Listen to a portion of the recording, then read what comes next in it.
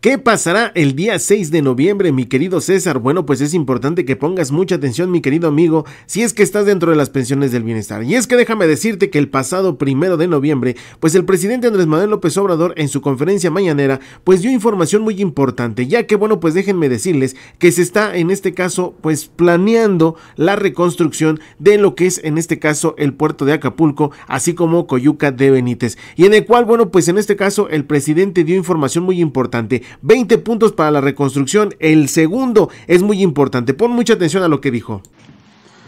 Bueno, voy a dar eh, lectura a la propuesta básica para ayudar a la gente de Acapulco y otros municipios afectados, básicamente Coyuca de Benítez. Este es el plan General de Reconstrucción. Uno, apoyar con todo lo necesario a los familiares de quienes perdieron la vida por el huracán e intensificar la búsqueda de los desaparecidos, acompañando siempre a sus seres queridos. Dos,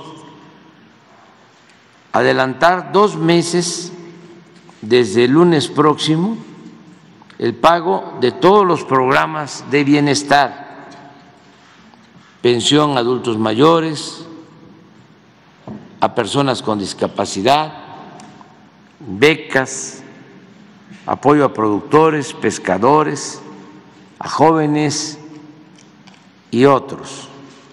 Tres,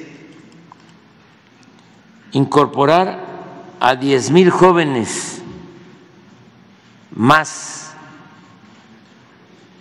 diez mil jóvenes más se van a contratar del programa Jóvenes Construyendo el Futuro para realizar labores de limpieza construcción, pintura y otras actividades y van a recibir un salario mínimo, el equivalente a un salario mínimo, esto a partir del día de hoy. Empieza la contratación de 10 mil jóvenes es ampliar el programa que ya se aplica en Acapulco y en todo el país de jóvenes construyendo el futuro.